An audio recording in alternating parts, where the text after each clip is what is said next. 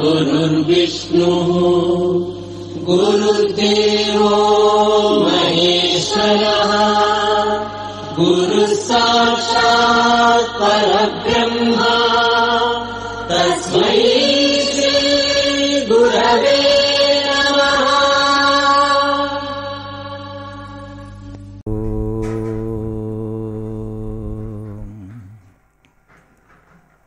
विद्यानामन्तस्तिमिरमिहिरद्वीपनगरी जडानां चैतन्यस्तबकमकरन्दस्रुतिझरी दरिद्राणां चिन्तामणिगुणनिका जन्मजलधौ निमग्नानां दंष्ट्रामुररिपुवराहसि भवति शुक्लाम्बरधरं विष्णुं शशिवर्णं चतुर्भुजं प्रसन्नवदनं ध्यायेत् सर्वविघ्नोपशान्तये वन्दे गुरुपदद्वन्द्वमवाङ्मानसगोचरं रक्तशुक्लप्रभामिश्रमतर्क्यं त्रयीपुरं महः। नारायणं नमस्कृत्य नरं चैव नरोत्तमम्। देवीं सरस्वतीं व्यासं ततो जयमुदीरयेत्। नमः शिवाभ्यां नवयौवनाभ्यां परस्पराश्लिष्टवपुर्धराभ्यां नगेन्द्रकन्यावृषकेतनाभ्यां नमो नमः शङ्करपार्वतीभ्याम् శ్రియకాంతాయ కళ్యాణనిధయే నిధయేర్థినాం వెంకటాయ శ్రీనివాసాయ మంగళం సుఖయోగీంద్రుడు వంటి ఒక మహాత్ముడు ఆకాశరాజు గారి ప్రార్థన అంగీకరించి ప్రత్యక్షమై కర్తవ్యం ఏమిటి అని అడిగితే శ్రీమన్నారాయణుడు శ్రీనివాసుడిగా సప్తగిరుల మీదకు వచ్చి నా కుమార్తెని పద్మావతిని వివాహం చేసుకోవాలనుకుంటున్నాడు. రుక్మిణి కళ్యాణం ఎరిగినవాడు వీని ఒక్కడివే. ఆ రుక్మిణి మళ్ళీ తన అంశతో పద్మావతి అయ్యింది.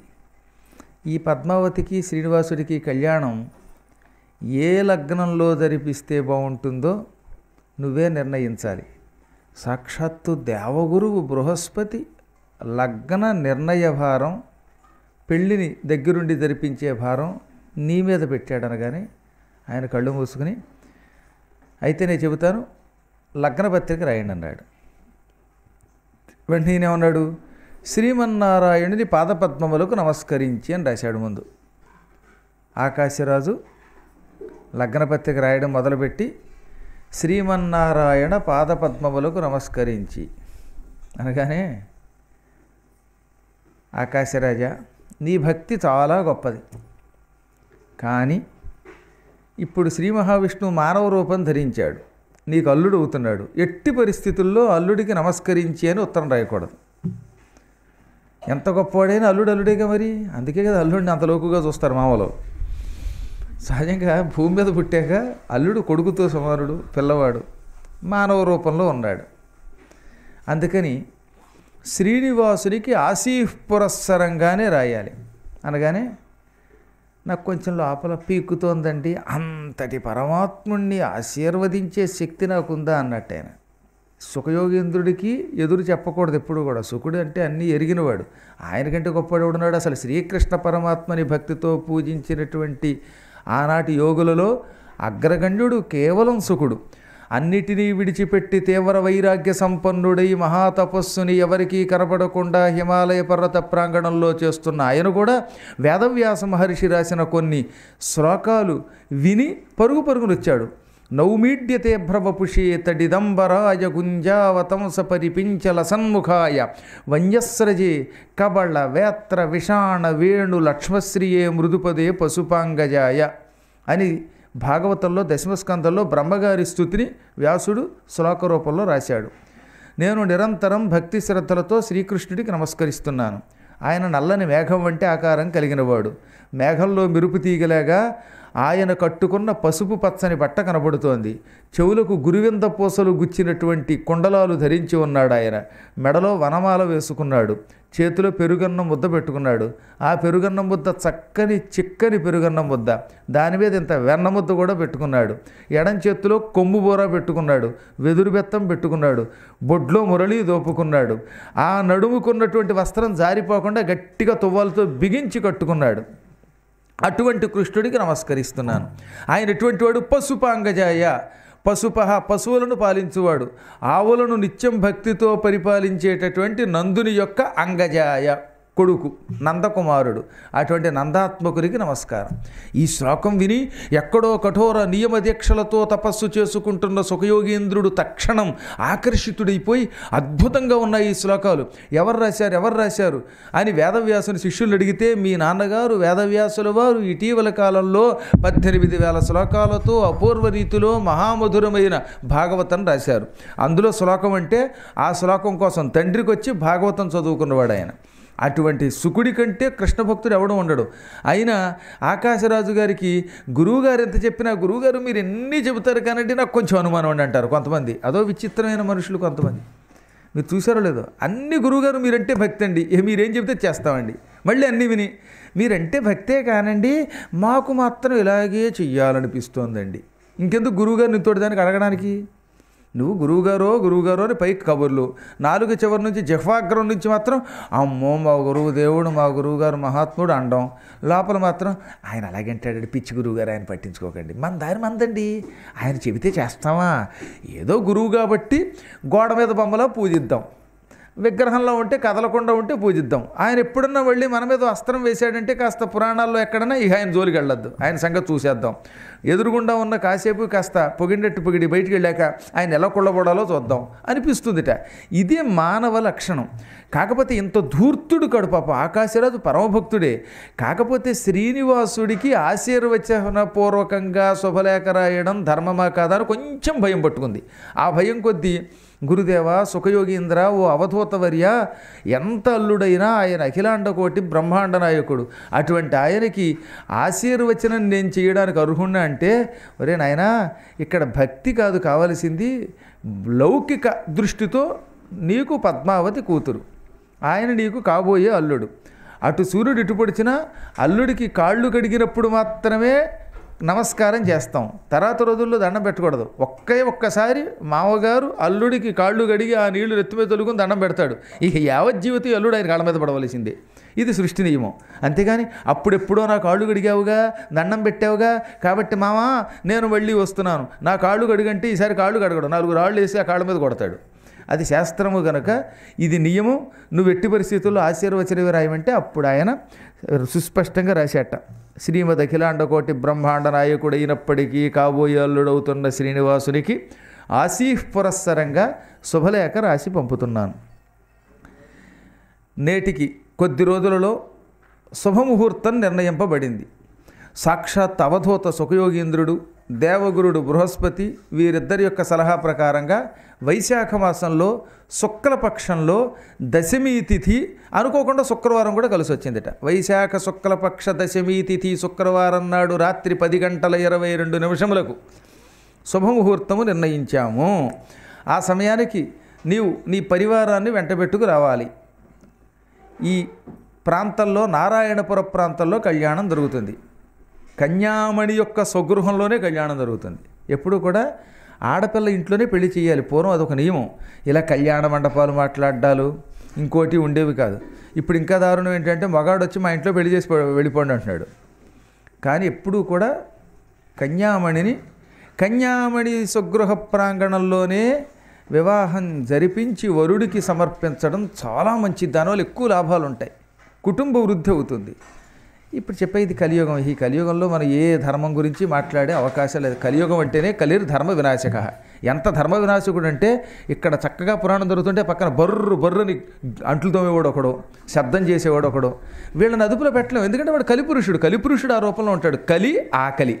ఏం ఒక్క ఐదు నిమిషాలు ఆకలికి ఆగలేమా మనం? ఐదు నిమిషాలు తోవకుండా ఆగలేమా? ఐదు నిమిషాలు అన్నం వండుకోకపోతే కొంప ములిగిపోతుందా? ఒక్క అర్ధగంటే కదా మహా అయితే ఈ అర్ధగంట ఆగితే దీనివల్ల ఎంత లాభం ఉంటుంది? అర్ధగంట వ్యర్థగంట కాకూడదు అనుకుని జీవితాన్ని వ్యర్థం చేసుకుంటారట. ఇది కలి యొక్క లక్షణం. దీన్ని అదుపులో పెట్టడానికి ఒక్కడు కూడా ఇష్టపడ్డట మనకెందుకు వచ్చింది? మనం చెబితే వాళ్ళు తంతారేమో? మన దారిని మనం ఉందాం. మన జోలికి వస్తేనే కదా అనిపిస్తుంది. ఇది కలి యొక్క లక్షణం. అందుకని పదే పదే కలిర్ ధర్మ వినాశక అని మొత్తం పురాణాలన్నీ చెప్పినవి చెప్పిన చెప్ చెప్పినవి మళ్ళీ ఇంకోసారి చెప్పాము అనుకోకుండా చెప్పేయట. ఎందుకని? రిపిటేషన్ చేయటం వల్ల పదే పదే కలిర్ధర్మ వినాశక అనే పదము వినడం వల్ల ఓహో కలిపురుషుడు ధర్మమును నాశనం చేస్తాడని తెలుసు కనుక మనమైనా జాగ్రత్తగా ఉందాం అని చదివేవాళ్ళు వినేవాళ్ళు అర్థం చేసుకుంటారనే ఉద్దేశంతో వ్యాసుడు మొత్తం పద్దెనిమిది పురాణాల్లో రెండు వేల ఎనిమిది వందల ఒక్కసార్లు రాశాడండి కలిర్ధర్మ వినాశక మొత్తం. నేను లెక్కెట్టాను. కావాలని పద్దెనిమిది పురాణాలు ఈ చివరి నుంచి ఆ చివరికి చదివి ఎన్నిసార్లు ఈ శబ్దం వాడుంటాడు. రెండు వేల ఎనిమిది వందల ఒక్కసార్లు వాడాడు ఆయన. అంటే ఇన్నిసార్లు వాడితే లాభం ఏమిటనమాట నేను చెబుతా మీరు వింటారు. నేను చెబుతూ ఉంటాను మీరు వింటూ ఉంటారు. వినగా వినగా అమ్మో కలిపురుషుడు దుర్మార్గుట్ట ధర్మం నాశనం చేస్తాట. ఎలాగో వాడే నాశనం చేస్తాడు కనుక అదేదో మనమే నాశనం చేసేద్దాం అనైనా అనుకోవాలి. లేదా అమ్మో వాడు నాశనం చేస్తాడు కనుక నాశనం కాకుండా మనం కాపాడదాం అనైనా అనుకోవాలి. ఈ రెండింటిలో ఏమనుకుంటారో అది మీ ఇష్టం అని వ్యాసుడు రాశాడు. ఇప్పుడు పదే పదే ఒకదానికొకటి తేడా లేకుండా ఉండడం కోసం మామగారి యొక్క ఇంట్లోనే కన్యామణి యొక్క స్వగృహంలోనే కళ్యాణం జరగడం ధర్మం గనక మా నారాయణపురంలో మా గృహ ప్రాంగణంలోనే మంచి ఏర్పాట్లు ప్రబంధం చేసి కళ్యాణం జరిపిస్తాను రావాలనగానే మొత్తం ఆ పత్రిక అంతా స్వయముగా తానే రాసి ఆకాశరాజు ఎవరు చెబుతూ ఉండగా? సుకుడు చెబుతూ ఉండగా రాసి సుకుడు చేతిలో పెట్టాడు. సుకుడు దాన్ని పూజా మందిరంలో పెట్టి పసుపు పూసి దాని మీద మంచి అగరత్తుల యొక్క ముద్ర వేసి పూర్వం ఏంటంటే చందనం కానీ అగరత్తులు కానీ ఇటువంటి పరిమళం దానికి అలదాలి బాగా పులమాలి పులిమించి ఈ శుభపత్రికని స్వయంగా సుకుడే నేనే పట్టుకెళ్ళి ఇస్తానన్నాడు.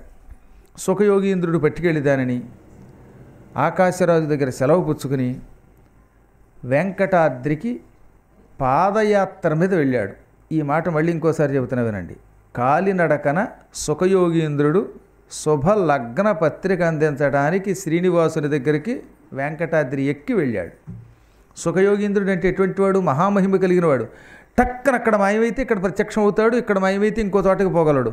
ఏ ప్రాంతానికి ఎప్పుడైనా నిమేషమాత్రంలో వెళ్ళగలిగిన ఆయన సకల లోకాలు చుట్టిరాగలిగిన మహిమ కలిగిన ఆయన కావాలని కాలినడకన వెళ్ళాడు. ఎప్పుడూ శుభపత్రికలు ఇచ్చేటప్పుడు కొంత దూరం నడిచి ఆ వ్యక్తి ఇంట్లోకి వెళ్ళి ఇవ్వాలి. కారులో వచ్చినా సరే ఇంటికి కొంచెం దూరంలోనే కారు ఆపి ఏడు అడుగులకి తక్కువ కాకుండా నడిచి ఇంట్లోకి వెళ్ళి శుభలేఖ వాళ్ళు గుర్తుపెట్టుకోండి ఇక మీద ఎప్పుడైనా. మీ ఇళ్ళలో పెళ్ళి జరిగితే డైరెక్ట్గా మా ఇంట్లోకి ఫ్లైట్లో ఎక్కకూడదు. ఆ గుమ్మం దగ్గర ఆగిపోవాలి. అక్కడ నుంచి కొంత దూరం నడిచి గురువుగారు వస్తున్నాం అనాలి పట్టుకెళ్ళి ఇవ్వాలి. అంటే గురువుగారికి శుభలేఖ ఇచ్చేవాళ్ళు ఎవరినో ఉంటేను. అలా కాకుండా సరే కనీసం పెళ్ళి కొడుకో పెళ్ళి కూతురుకో బంధువులకో ఎవరిళ్ళకి వెళ్ళినా సరే కొంత దూరం నడిచి వెళ్ళి ఇవ్వాలి. సరే అందరికి ఎక్కడ ఇస్తాము? అందరికీ ఇవ్వలేం కనుక ఈ రోజుల్లో అంతా వాట్సాప్లే కదా. ఇందులో పంపిస్తే వాడు చూసుకుంటే వాడు అదృష్టం. భోజనం కూడా అందులో భరిస్తే గొడవ వదిలిపోయాయి అది కుదరదు కానీ లేకపోతే ఫోనుల్లో భోజనం ఫోనుల్లోనే అన్నీని. లేదా ఇంకా కొంతకాలం పోతే ఏమవుతుందో తెలుసా? ఇదిగో మా పిండి వంటలు మీరు చూసుకొనుడు చూసి ఆనందించుడు.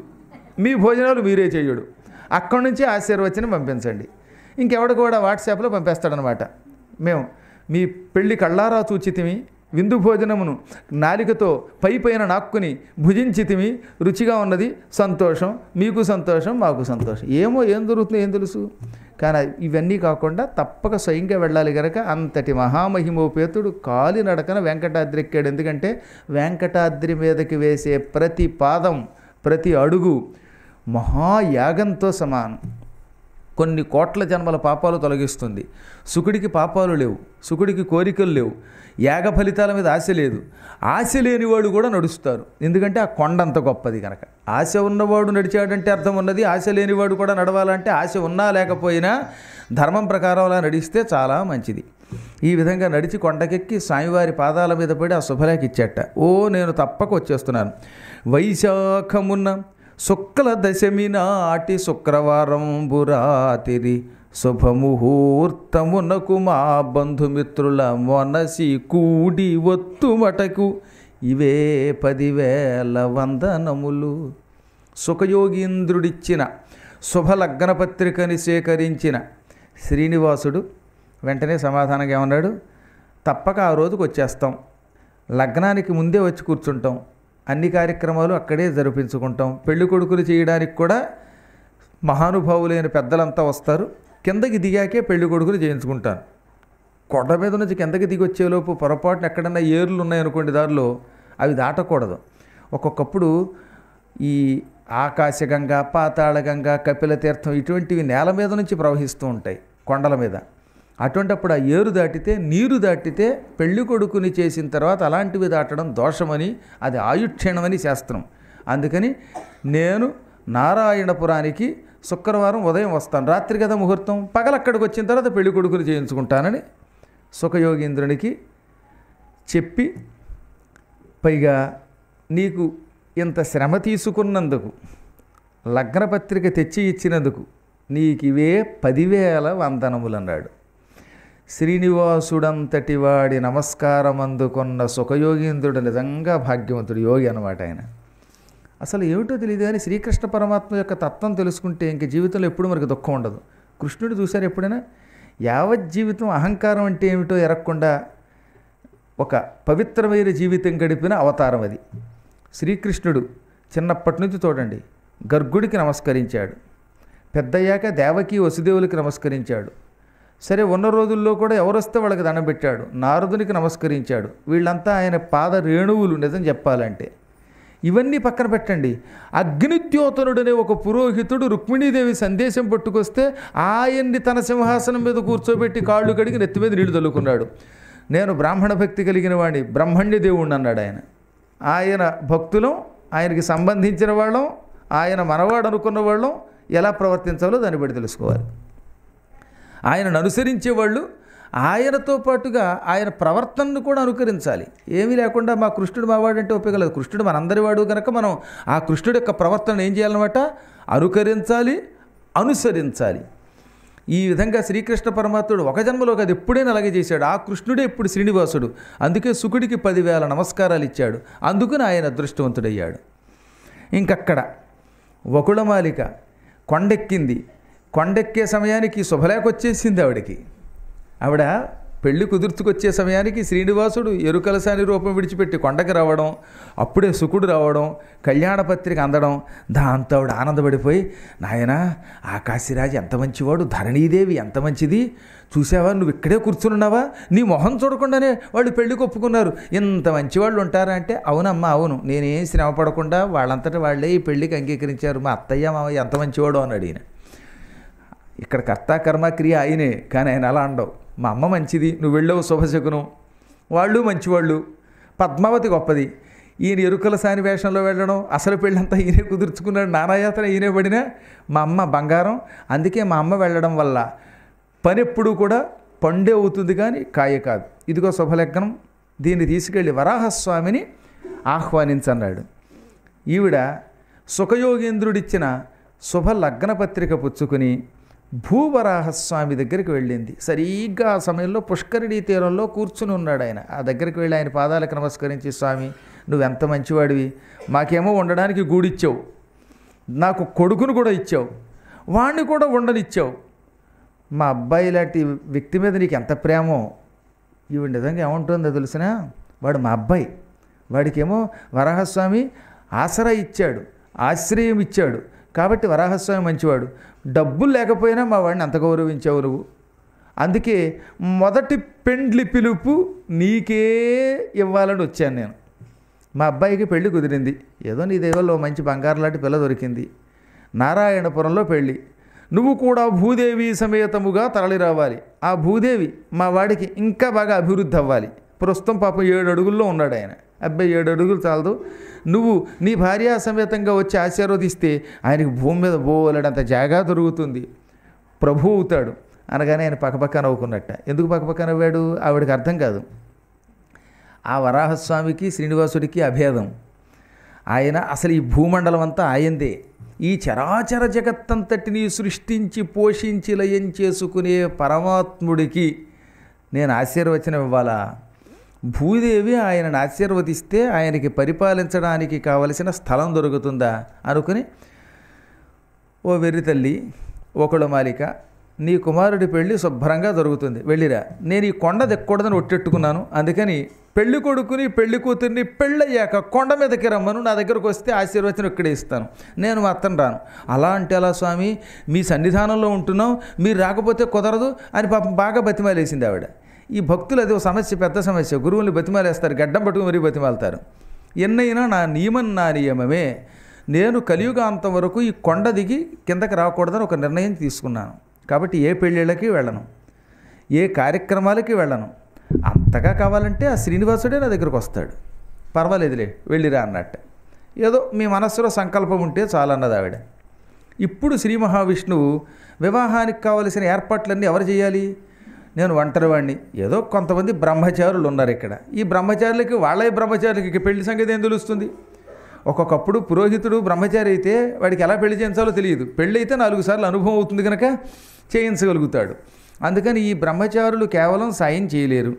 అమ్మ చూస్తే పెద్ద ఆవిడ ఆవిడకి అత్త అనిపించుకోవాలని ఉంది కానీ పెళ్ళిళ్ళ గురించి ఆవిడికి పెద్దగా తెలియదు.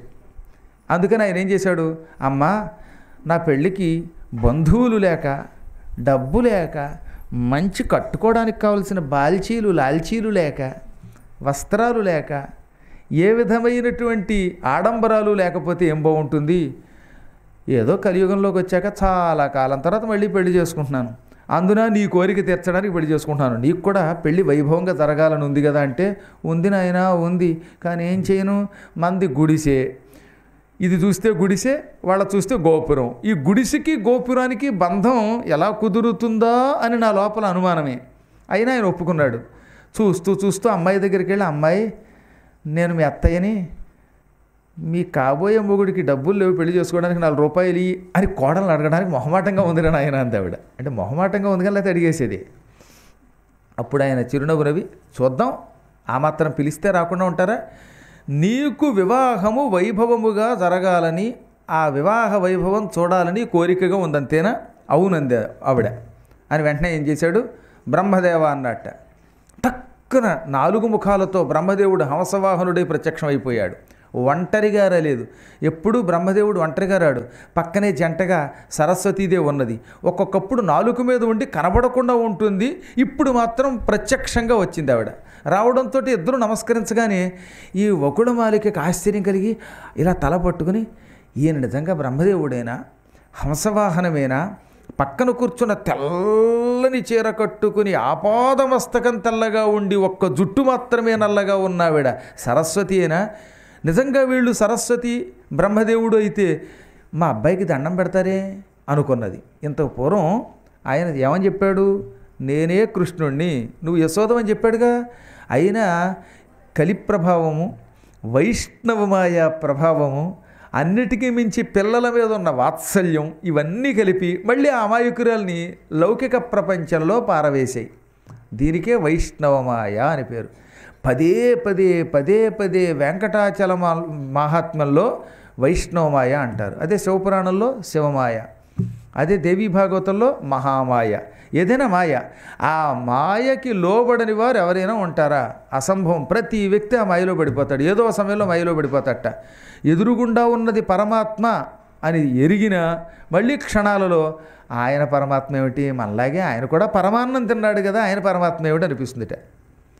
మీ ఎదురుగుండా నేను కూడా మీతో కూర్చుని ఆ లోపల ఇంత పరమాన్నం తింటే ఆయన మాతో భోజనం చేసాడండి ఆయన మొహం. ఆయనకి నెక్స్ట్ ఏమిటి? అంటాం. ఇవాళ ఒక క్షణమేమో ఆనందం మళ్ళీ అంతలోనే మాయ. ఈ రెండింటికి మధ్యలో ఊగిసలాడుతూ ఉండడమే మానవ జన్మ. ఈ మహామాయ నుంచి బలమైన మహామాయ నుంచి బయటపడడం ఎవడి వల్ల కాదు. అందుకే అంతటి తల్లి ఆయనతో తిరిగి అన్నీ తెలుసుకుని నీవే విష్ణువి నీవే పరబ్రహ్మవని ధ్యానం కూడా చేసింది కదా అయినా మర్చిపోయింది. అప్పుడు బ్రహ్మదేవుడు ఓకుడమాలిక ఓ పుణ్యస్వరూపిణి అని తన హస్తం ఆవిడ మస్తకం మీద పెట్టాడు. బ్రహ్మదేవుడు లోకాలకు అభయమిచ్చే సుప్రశస్తమైన హస్తం ఆవిడ మస్తం మీద పెట్టగానే ఆవిడకి సమస్తం గుర్తుకొచ్చింది. క్షణాలలో అర్థమైంది తాను యశోద ఎదురుగుండా ఉన్నవాడు శ్రీకృష్ణుడు సాక్షాత్తు బ్రహ్మకి వాణికి ఇద్దరికీ ఆరాధ్యుడు బ్రహ్మంతటి వాడి తండ్రి అని గ్రహించి నాయనా శ్రీనివాస ధన్యుణ్ణి ధన్యుణ్ణి ధన్యురాలిని ఎంత భాగ్యం కలిగించావు? గ్రహిస్తున్నాను.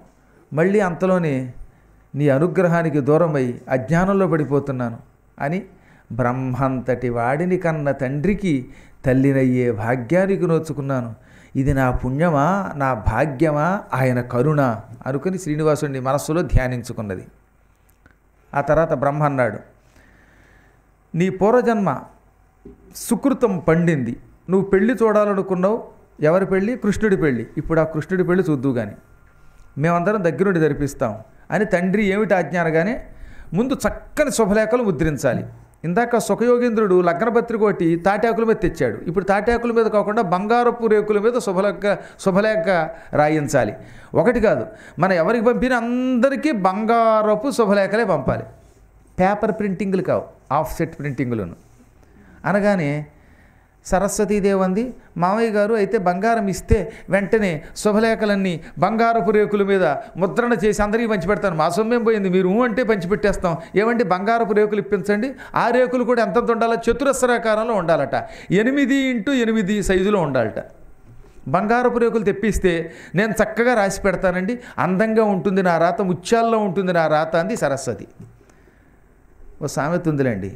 అందుకని ఈయన ఏమన్నాడు అమ్మ కోడలా నాతో వేళకోళమా? ఏది నా పక్కన మీ అత్తగారు? లక్ష్మీదేవి మీ అత్తగారు నా పక్కన ఉంటే అసలు నిన్ను పిలిచేవాడిన నేను. ఆవిడే శుభలేఖలన్నీ వేసేది. నేను ఇప్పుడు ఉట్టి పేదవాడిని అయ్యాను. పేరుకి శ్రీనివాసుండే శ్రీలేని నివాసుండి ఆవిడేమో వెళ్ళి కరవీరపురంలో కూర్చుంది. నేను ఇక్కడ కూర్చున్నాను. నా ఉన్న ఆస్తి అంతా మూడు కోట్ల ముప్పై కోట్లు ఆవిడ పేరు మీద ఎట్టేశాను. ఇప్పుడు ఉన్న ఆవిడ దగ్గర ఆస్తి నా దగ్గర నాస్తి ఆవిడ అలిగి వెళ్ళింది. ఈ పరిస్థితుల్లో తాళపత్రం మీద కూడా శుభలేఖ రాసే ఓపిక లేకుండా ఉన్నాను. అందుకే మీరు ఏమన్నా సాయం చేస్తారేమో అని పిలిస్తే నువ్వేమో రేకులు తెప్పిస్తే రాసి పెడతానంటున్నావు. మాకు చాలా కాలం క్రితం మా ఇంటికి ఒక ఆయన వచ్చేవాళ్ళండి. అన్నీ మీరు సిద్ధం చేస్తే మిగతావన్నీ నేను చేసి పెడతాను. ఏమిటి సిద్ధం ఆయన చేసి పెట్టి పని? నేంట అన్నం వండాలట కూర వండాలట ఆకు తేవాలట పెరుగు తేవాలట నీళ్ళు పెట్టాలట తినడం మాత్రం ఆయన తిని పెడతాట అలా ఉంది వ్యవహారం. అనగానే ఆవిడ నవ్వి మళ్ళీ మరి ఏం చేయమంటారు మహాత్మా? నేను వాణిని. భాష అంటే ఇస్తాను కానీ డబ్బులు ఎక్కడున్నాయి నా దగ్గర? నేనే తెల్లచీర కట్టుకుని ఉన్నాను. నా దగ్గర మెడలో పెద్ద నగలేం లేవు. ఇక బ్రహ్మగారు సృష్టికర్తే కానీ సృష్టి భర్త కాదు. భర్తవి నువ్వు. ఆ భర్తవైన నువ్వు నీ భార్య దూరం అయ్యి నేను ఇప్పుడు భర్తను కాదంటున్నావు. మరి బంగారపు రేకులు ఎవరిస్తారు? మీ మామగారిని అడగనా అంటే చచ్చచ్చ మామగారిని అడిగి పెళ్ళి చేసుకుంటే బాగుండదు రేపు పొద్దున వెళ్ళి దెప్పుళ్ళు వస్తాయి. రేపు పొద్దున పెళ్ళి అయ్యాక ఏమంటారు తెలుసా? మామగారి దగ్గర అప్పు చేసి పెళ్ళి చేసుకున్నాడు అంటారు బాగుండదు. మరి ఏం చేద్దాం? అయితే ఇంద్రుడిని పిలవమన్నాడు ఆయన. వెంటనే ఇంద్రుడు వచ్చాడు. ఇంద్రుడు ఐరావతం మీద శచీ సమేతంగా వచ్చి నమస్కారం చేశాడు. ఆయన వచ్చి ఏదో కాస్తో కోస్తో అప్పు ఇవ్వగలను కానీ నువ్వు అడిగినన్ని బంగారపు రేకులు ఎక్కడిస్తాను? ఎన్ని శుభలేఖలు ఇవ్వాలనుకుంటున్నాడో తెలుసా శ్రీనివాసుడు? మొత్తం ముప్పై మూడు కోట్ల దేవతలకి ముప్పై మూడు బంగారు రేకులు. భూలోకంలో ఆనాటికి ఈయనకి ఆత్మీయులైన శిష్యులు మూడు కోట్లు అంటే ముప్పై ఆరు కోట్లు. ఇవి కాకుండా పాతాళవాసులు కొందరు ఉన్నారట ఇంకా గ్రహాంతరవాసులు ఉన్నారట వెరసి అరవై ఎనిమిది కోట్ల బంగారు రేకులు కావాలట. రేకులు అరవై ఎనిమిది కోట్లు. అంటే అప్పటికి భారత జనాభా ఎంత లేదులేండి. ఇప్పుడైతే స్వామివారు మళ్ళీ పెళ్ళి చేసుకుని బంగారపు రేకులు పంపించాలంటే మన జనాభా నూట ఇరవై కోట్లు. అందులో బంగారపు రేకుల మీద శుభలేఖలు వస్తున్నాయంటే ఒక్కొక్కడు మా ఇంట్లో ఆరుగురు ఉన్నారండి ఏడుగురు ఉన్నారండి ఒక్కొక్కడికో శుభలేఖండి అండి అంటారు. పెద్ద గొడవ ఏంటంటే ఇప్పుడు కూర్చున్న భక్తులు కూడా బంగారపు రేకుల మీద శుభలేఖలు స్వామివారు ఇస్తున్నారంటే గ్యారంటీగా ఒక్కరేకే పుచ్చుకునే పుణ్యాత్ములు చేస్తండి. సంతోషం అండి. ఆ మాట మీద నిలబడతారు. అంచేత అదేమిటో తెలియదు కానీ ఈ శుభలేఖలు ముచ్చటగా ఉంటే ఇంకోటి ఎవరా అండి విష్ణు సహస్రనామ పుస్తకాలు ఇక్కడ పంచిపెడుతూ అంటే ఒక్కొక్కళ్ళు రెండేసి పట్టుకుపోతున్నారా? అవి బంగారం కాదా? కానీ బంగారం కంటే ఎక్కువ కింద భావిస్తున్నావా? ఇక్కడ భగవద్గీత పెడితే నాతో పాటు మా ఆవిడ ఇంటి దగ్గర ఉందండి. ఈ ఆవిడ కదండి ఇంకొక ఆవిడ అండి అని పట్టుకుపోయాడు ఒక ఆయన. నిజంగా జరిగింది ఇది. ఇందులో మొహమాటం లేదు. ఉన్నది ఉన్నట్టుగా చెబుతున్నాను. ఇలా ఎక్కడికక్కడ ఇండేసి పుస్తకాలే పట్టుకుపోతుంటే ఈ రేకులు ఎలా కుదురుతాయి? కానీ ఆ రోజులలో కేవలం ఒక శుభలేఖ ఒక్కొక్కరు చొప్పున లెక్క పెట్టి ఇవ్వడానికి అరవై ఎనిమిది కోట్లు కావాలి. ఇన్ని రేకులు కావాలి. ఇది కాకుండా డబ్బు కావాలి. భాండాలు కావాలి. భోజన ప్రబంధాలు కావాలి. ఇవన్నీ ఎలా వస్తాయి? ఇన్ని నేను ఇవ్వలేనన్నాడు ఇంద్రుడు. చివరికి అందరినీ పిలిపించాడు. దేవతల్ని పిలిపించాడు. దిక్పాలకుల్ని పిలిపించాడు. అందరూ కలిసి అన్నారు శ్రీనివాస ఇంత డబ్బు నీకు ఇవ్వగలిగే శక్తి సామాన్యుల దగ్గర ఉండదు. ఒకే ఒక్క ఆయన ఉన్నాడు. ఈశ్వర సఖుడు ధనదుడు డబ్బివ్వగలిగేవాడు ఆయనే. శివుడు అష్టసిద్ధులు ఆయనకే ఇచ్చాడు. అష్టసిద్ధులు శివుడు ఆయనకిచ్చి తాను ముష్టెత్తుకుంటున్నాడు. అష్టసిద్ధులు పొందిన మహైశ్వర్య సంపన్నుడు మహానుభావుడు కేవలం కుబేరుడు. కుబేరుడు దక్క నీకు నీ వివాహమునకు ఆర్థిక సహాయము చెయ్యగలవాడు మరొకడు లేడు. అనగానే వెంటనే కుబేరుని పిలిచేట. కుబేరుడు దిగొచ్చాడు. ఏనాయనా స్వామి నన్ను పిలిపించావంటే ఏం చేయమంటావు? తప్పనిసరి అయిపోయింది. ఒక్కొక్కప్పుడు కాలం కలిసి రాకపోతే ఎవరినైనా అడగాలి? అని కొంచెం వ్యంగ్యంగా పలికి కుబేరా. నేను పద్మావతీదేవిని పరిణయం చేసుకోవాలనుకుంటున్నాను. దానికి కొంత డబ్బు కావాలి. ఎంత కావాలి? కోటి నిష్కాసములు. నిష్కాసము అంటే దానికి చాలా పెద్ద పరిణామం ఉందిలేండి. కోటి నిష్కాసములు అంటే ఇలాంటి అరవై ఎనిమిది కోట్ల రేకులు తయారు చేయించగా ఇంకా మాడలు కూడా తయారు చేయించవచ్చు. అందరూ అనుకున్నట్లుగా ఏవో రకరకాలు కాదు. కోటి నిష్కాసములని మాత్రమే ఇందులో ఉన్నది. ఒక నిష్కాసము అంటే దాదాపు అరవై ఎనిమిది వందల గ్రాములు ఉంటుందిట. అటువంటివి కోటి నిష్కాసములను నాకు ఇమ్మంటే ఆయన తథాస్తు నీకు నేను అప్పుగా ఇవ్వను. పరమాత్ముడికి అప్పేమిటి అది ముప్పు. ఈ సొమ్మంతా నీది. ఈ చరాచర జగత్తంతా నీది. ఈ సంపదంతా నీది. భూమి మొదలుకొని సమస్త లోకాలు నీవే. ఈ భూలోక భువర్లోక సువర్లోక మహర్లోక జనలోక గోలోక తపోలోక సత్యలోకాలు అతల వితల సుతల తలాతల రసాతల పాతాళాది భువన బ్రహ్మాండాలు. వీటిల్లో ఉండే సకల ప్రకృతులు ధాతువులు నవరత్నములు ఈ వస్తు చెయ్యమంతా విష్ణు స్వరూపం. అటువంటి విష్ణు సంపద విష్ణువుకి అప్పుగా ఇవ్వడం ఏంటి? నేను కానుకగా ఇచ్చేస్తాను పెళ్ళికి అన్నట్టు. వద్దు నాయనా. ధనదా వివాహ యత్నము చేసితి అర్ధంబు నేను కాన్కగా పుచ్చుకోను. ఆయన వెంటనే చెప్పాడు నేను పెళ్ళి చేసుకోవాలనుకున్నాను.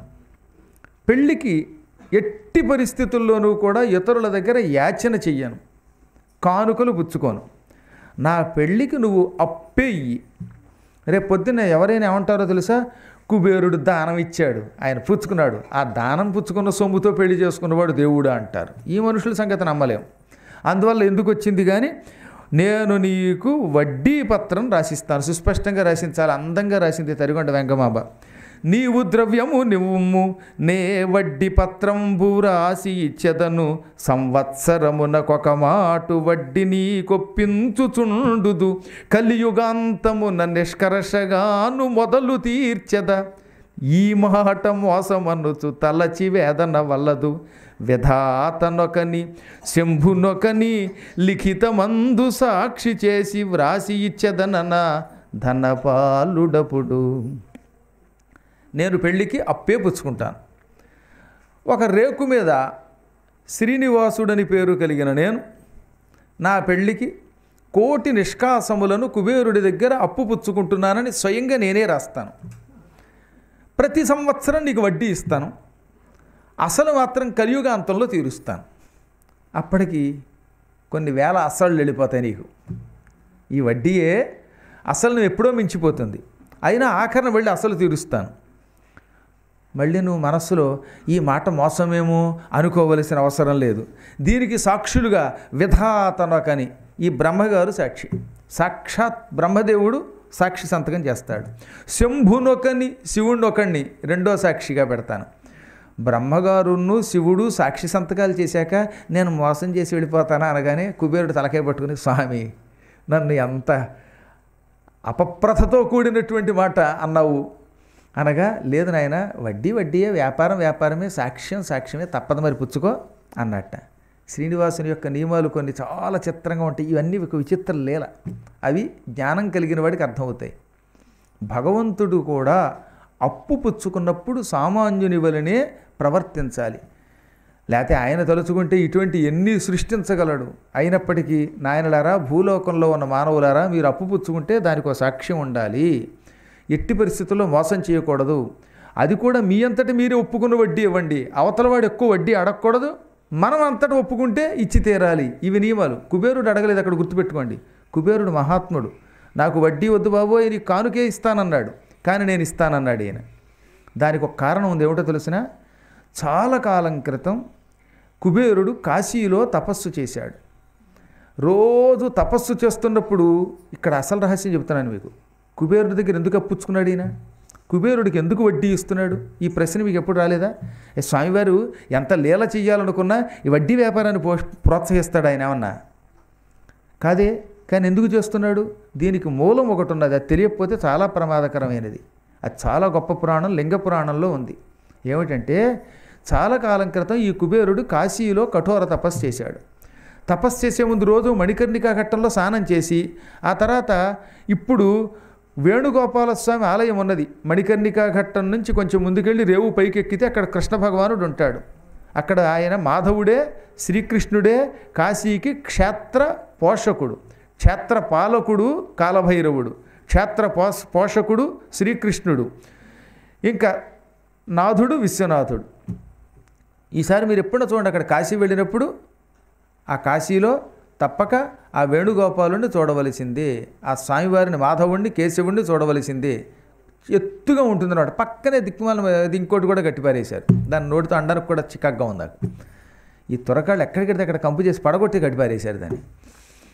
ఆ ప్రాంతంలో స్వామివారు తనంత తాను స్వయంభూమూర్తి అయి వెలచాడు ఒకప్పుడు పరమేశ్వరుడు ఇంకా గంగానది భూమికి రాని క్రితం కాశీని సృష్టించి కాశీలో తాను ప్రవేశించి బిందుమాధవుడు లేక వేణుగోపాలుడు అనే పేరుతో శ్రీకృష్ణ పరమాత్మను సృష్టించాడు. ఆయనకు మూడు పేర్లు పెట్టాడు. ఒకటి బిందుమాధవుడు వేణుగోపాలుడు కేశవస్వామి. నాయన నువ్వు ఈ కాశీని పోషించు అంటే పోషించడానికి తగిన శక్తి కావాలంటే తపస్సు కావాలి నేను తపస్సు చేస్తాను అని కాశీ దగ్గర ఏం చేశాడు? నీళ్ళు లేవు గనక నీళ్ళు లేకుండా స్నానం చేయకుండా తపస్సు చేయకూడదు గనక తన చక్రంతో భూమిని తవ్వాడు. చక్రంతో తవ్వడం వల్ల ఆ స్థలానికి ఏమని పేరు వచ్చింది చక్రతీర్థం అని పేరు వచ్చింది ఆ చక్రంతో తవ్వుతున్నప్పుడు ఆయన శరీరం నుంచి చెమట పుట్టింది. ఆ శ్రమ జలాన్ని అందులో పోశాడు. ఆ చెమట నీరు మంచి సువాసనతో ఉండేది. ఆ సువాసనతో కూడిన పవిత్ర జలం శ్రీ మహావిష్ణువు యొక్క శ్రమజలం అందులో స్నానం చేసి ఒడ్డు మీద కూర్చుని మహాతపస్సు చేశాడు. ఆ తపస్సుకు మెచ్చుకున్న విశ్వనాథుడు ప్రత్యక్షమై ఏం వరం కావాలో కోరుకో. అబ్బా ఏమి తపస్సు ఏమి తపస్సు ఈ భూలోకంలో ఇంతవరకు మానవ మాతృడెవడు ఈ తపస్సు చెయ్యలేదు. ఓ కేశవ మాధవ వేణుగోపాల నీ అఖండ తపో నిష్ఠ గరిష్ఠత్వానికి మెచ్చుకున్నాను అని ఆనందంతో తల ఊపాడు. ఆ ఊపగానే కుడి చెవికున్న దుద్దు ఊడి కింద పడింది. కుడి చెవికున్న దుద్దిని దుద్దుని సంస్కృతంలో మణికర్ణిక అంటారు. ఆ మణికర్ణిక పట్టడం వల్ల ఆ ఘట్టానికి మణికర్ణిక ఘట్టం అని పేరు వచ్చింది. ఆ ఇప్పటికి కూడా చక్రతీర్థం అక్కడ ఉన్నది కావాలంటే చూడండి వెళ్ళి మణికర్ణిక ఘట్టానికి పైన స్వామివారు శ్రీమన్నారాయణుడు చక్రంతో తవ్విన చక్రతీర్థం ఉంది. ఆ చక్రతీర్థంలో నీళ్ళు నెత్తి మీద జల్లుకుంటేనే కాశీ వెళ్ళినటువంటి వాడికి తగిన ఫలితం వస్తుంది మోక్షం వస్తుంది. ఆ తర్వాత ఆ తపస్సుకే మెచ్చుకుని నిన్ను నా అంతవాణ్ణి చేస్తున్నాను. భవిష్యత్తులో యుద్ధం వస్తే నన్ను కూడా జయించే శక్తి నీకు ఇస్తున్నాను. నీకు నాకంటే ఎక్కువ ఆలయాలు ఉంటాయి ఎక్కడికి వెళ్ళినా ప్రథమ పూజ నీకు ఉంటుంది. నీకు సంపద ఎక్కువ ఉంటుంది. నా ఆలయంలో సంపద తక్కువ ఉంటుంది అని దీవించాడు. క్షేత్రపాలకుండి చేశాడు. క్షేత్ర పోషకుండి చేశాడు. తనకంటే ఎత్తుగా ఉన్న ఆలయంలో కేశవుణ్ణి ప్రతిష్ఠించాడు. ఆ కేశవుడి యొక్క ఆలయం ఎప్పటికీ కూడా మనకి కాశీలో దర్శనమిస్తుంది. ఇప్పుడు తర్వాత కొంతకాలానికి అక్కడికి గంగానది దిగొచ్చింది. ఆ దిగొచ్చిన కాలంలో కుబేరుడు అక్కడ తపస్సు చేసేవాడు. రోజు మణికర్ణికలో స్నానం చేయటం అక్కడి నుంచి బయలుదేరి కేశవుడున్న ప్రాంతానికి వెళ్ళాడు. ఆ కేశవుడి దగ్గరికి వెళ్ళి రోజు ఒక తులసి దళం ఆయన మీద పెట్టేవాడు. అప్పుడు కేశవుడు ఆశ్చర్యపోయి రోజు ఒక్కొక్క తులసి దళం పెడుతున్నావు? నాకు తులసి అంటే చాలా ఇష్టం. తులసి ఇస్తున్న నీకు నేను రుణపడి ఉన్నాను. ఈ రుణాన్ని కలియుగంలో తీరుస్తానన్నాడు. అంటే కుబేరుడు అన్నాడు నేను శివుడి కోసం తపస్సు చేస్తున్నాను నాకు డబ్బు మీద వ్యామోహం లేదు నాకేం రుణం లేదు తులసి దళం మాత్రం భక్తితో వేస్తున్నాను అన్నట్ట. నువ్వు ఒక్కొక్క తులసిదళం వేయి అది నాకు ఒక నిష్కాసం అవుతుంది దానికి తగిన వడ్డీ చెల్లిస్తాను అని వరమిచ్చాడు తర్వాత కుబేరుడు ఈశ్వర అనుగ్రహం పొందాడు కుబేరుడు అయ్యాడు ఈశ్వరుడి యొక్క అనుగ్రహం పొంది దిక్పాలకుడైనప్పటికీ కేశవుడు నా మీద తులసి దళం వేసిన వీడికి నేను ఉపకారం చేయాలి ఉట్టినే వాడికి డబ్బు ఇస్తానంటే పుచ్చుకోడు. కాబట్టి వాడికి డబ్బు ఎలా ఇవ్వాలి? అనుకుని వాడు ఎన్ని తులసి దళాలు వేశాడో అన్ని తులసి దళాలకి తగినట్లుగా అన్ని నిష్కాసములు అప్పుచ్చుకున్నాడు. అతడు తపస్సు పూర్తయ్యేలోపు కోటి తులసి దళాలు వేశాట. అందుకే సరిగ్గా స్వామివారు ఏం చేశారు? కోటి బంగారు నిష్కాసములను నాణెములను ఆయన దగ్గర అప్పుచ్చుకున్నాడు. ఈ అప్పుకి వడ్డీగా కోట్లు కోట్లు తీర్చేస్తున్నాడు ఇప్పుడు. ఇప్పటికే కుబేరుడికి ఆయన పుచ్చుకున్న అసలుకి నూరు రెట్లు తీర్చేట. ఇంకా చాలా తీరుస్తున్నాడు. దీన్ని బట్టి అర్థమవుతుందా? కుబేరుడి దగ్గర ఎందుకు అప్పు పుచ్చుకున్నాడో ఎందుకు వడ్డీ తీరుస్తున్నాడో? భగవంతుడికి తులసి అంటే చాలా ఇష్టం. శ్రీమన్నారాయణుడి మీద తులసీదళం వేసి పూజిస్తే ఆయన నేను వాళ్ళకు రుణపడి ఉంటాను అంటాడు. మీరు కూడా రోజు ఆయన్ని మీకు వీలుంటే విష్ణు ఆలయానికి వెళ్ళి లక్ష్మీనారాయణ ఆలయానికి వెళ్ళి తులసి దళాలతో పూజించండి. అప్పుడు ఆయన ఏమంటాడు? ఓహో ఈ ఫలానా పుల్లారావు గారు లేక పెంటారావు గారు ఫలానా దెబ్బారావు గారు నాకు రోజు తులసి దళాలతో పూజ చేస్తున్నారు. వీడికి నేను రుణపడి ఉంటాను. ఈ రుణం తీరుస్తానంటాడు. ఆ రుణం కొందరికేమో డబ్బు రూపంలో తీరుస్తాడు. అందరికీ డబ్బు ఇవ్వడం. కొంతమందికి వస్త్రాల రూపంలో తీరుస్తాడు. కొందరికి సంతోష రూపంలో తీరుస్తాడు. కొందరికి అనారోగ్యం ఉంటే ఆరోగ్యం ఇచ్చి రుణం తీరుస్తాడు. మరికొంతమందికి మోక్షలక్ష్మినిచ్చి రుణం తీరుస్తాడు. అందుకని వీలున్నంత వరకు తులసీ దళములతో నిరంతరం శ్రీమన్నారాయణుణ్ణి పూజించండి. ఆయన యొక్క అనుగ్రహం పొందొచ్చు.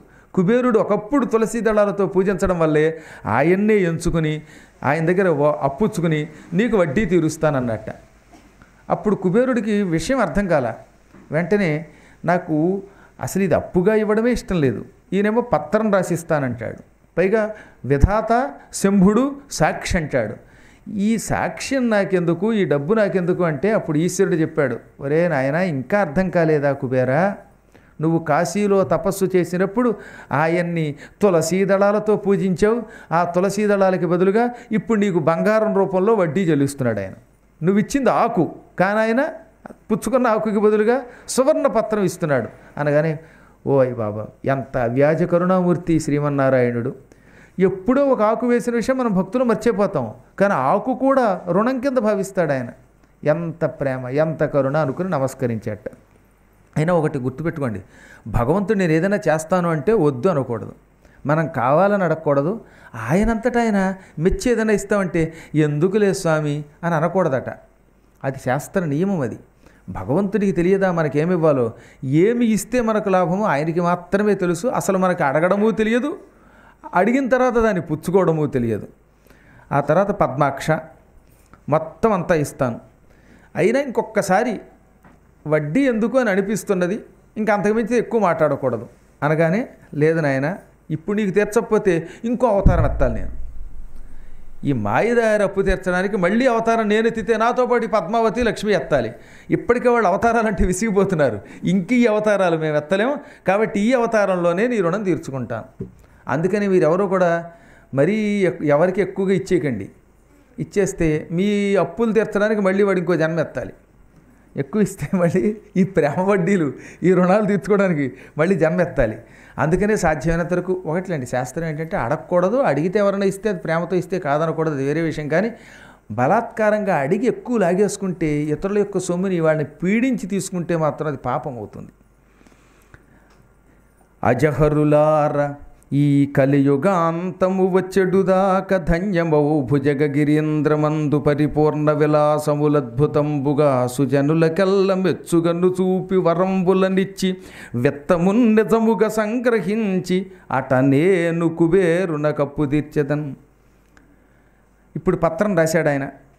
బ్రహ్మగారి చేత శివుడి చేత సాక్షి సంతకం చేయించాడు. డబ్బప్పు పుచ్చుకున్నాడు. ఆ తర్వాత ఏమన్నాడు?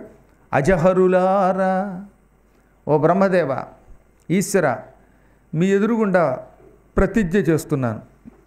భక్తులు ఇందులో కానుకలు వేస్తారు. అందులో కొంత కానుక ఆనాటి దేవస్థానం నిర్వహించే వాళ్ళకి కనబడుతుంది. కొంత వడ్డీ రూపంలో నేను తీసుకుంటాను. హుండీలో పడిన సొమ్ములో కొంత వాళ్ళకి కనబడకుండా అదృశ్యమైపోతుంది. సువర్ణ రూపంలో అది కుబేరుణ్ణి చేరుతుంది.